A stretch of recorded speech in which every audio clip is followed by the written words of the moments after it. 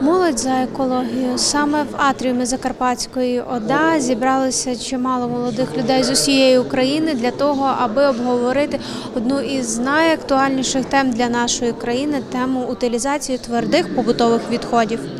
У стінах Закарпатської ОДА таун-хол мітінг – обговорення трьох сценаріїв поводження з твердими побутовими відходами. Сьогодні близько 5% території України, а це стільки як вся Закарпатська або Чернівецька область, перетворились у сміттєзвалища. За мою присутність тут недовго, ще навіть двох років нема.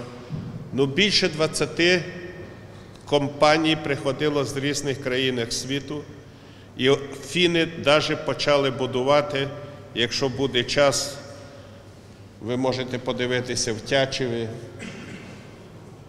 сміттєпереробний завод і перестали будувати.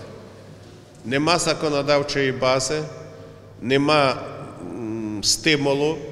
В Україні ситуація з переробкою твердих побутових відходів вкрай плачевна. Тільки 1% сміття утилізують, все інше просто захоронюють у землю. Яскравий приклад сміттєва проблема у Львові, адже саме в сусідній області досі не можуть вирішити ситуацію з твердими побутовими відходами.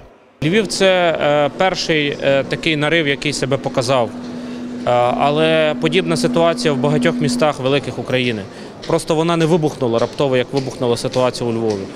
Е, Тому е, ми тут повинні е, дивитися на цей приклад як на модель негативну, яка може статися будь-де в будь-який момент. І саме тому, якщо зараз не вирішити проблему для всієї країни, ми не вирішимо проблему і локальну для Львова.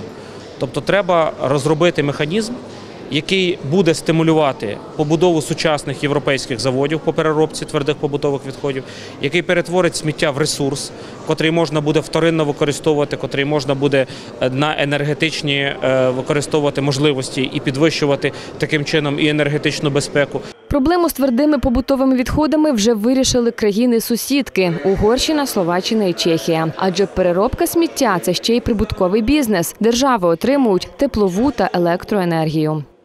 Якщо е, е, відпрацювати нормальне законодавство, дати можливість заробляти інвесторам на е, зеленому тарифу, на продажі теплової, холодної енергії, і вони в такому випадку на Швеції, допустимо, один із таких заводів, який обслуговує Стокгольм, вони заробляють в рік до 20 мільйонів євро. Це досить хороші приклади того, як можна поводитися у цивілізованій країні з твердими побутовими відходами. А цивілізація починається з того, як ми поводимося з тим, що ми продукуємо. Жоден із нас, жоден із людей ніколи не хоче мати у себе в дворі е, сміття будь-якого виду. Це тягне за собою і проблеми тому, що жодна сільська рада або районна рада не хоче займатися тим, що вони е, віддають е, майданчики для побудови таких заводів. Це одна також проблема законодавча.